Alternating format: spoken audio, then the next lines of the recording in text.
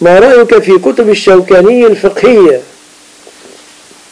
في الجملة لا بأس بها لكن أحذر من الشطحات التي قد تصدر من الشوكاني رحمه الله تعالى.